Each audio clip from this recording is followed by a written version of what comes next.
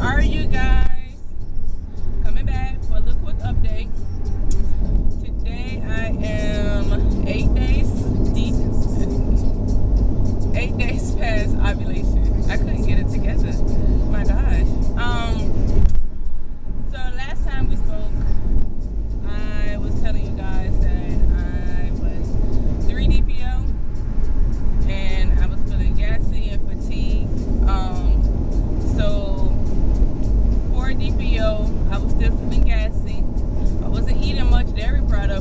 still gassy.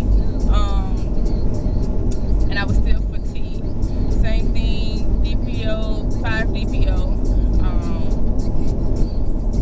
oh, I'm sorry. Also on 4 DPO as well as 5 DPO, I felt like pulling, pinching type of sensation going on in my stomach. Um, I didn't feel it on six days past ovulation, but I didn't really feel much on 6 DPO. I guess it was kind of like an okay day. Um, and then on 7 DPO, I felt that pulling, pinching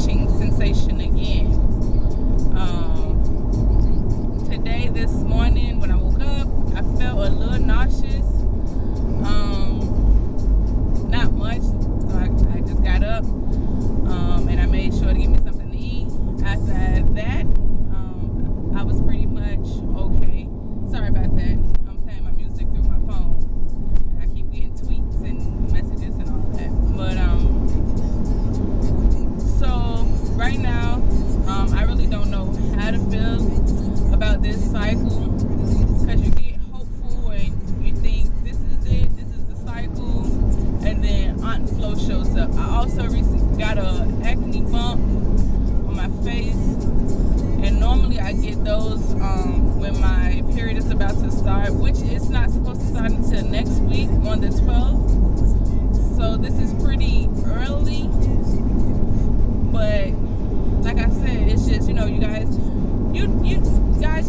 There. You get hopeful, and then it's just like I don't know how to take it. You try not to make a big deal out of all of the things that you're going through, but it's kind of hard to not obsess about what you're going through because you just want it so badly. And I think during this two week wait, I've really been trying not to obsess over anything that I've been feeling. I've been doing my best to stay off like mom boards and As far as like Facebook or Instagram. Like I try to stay off of that. Of course, I'm still on YouTube watching videos and interacting with everyone just because I don't want anyone to think that I abandoned them or I forgot about them or whatever. Um, but yeah, it's just it's just really crazy. So if you guys know what I'm talking about, let me know some of the symptoms you went through during your two week wait. Was it it ended up in a BFN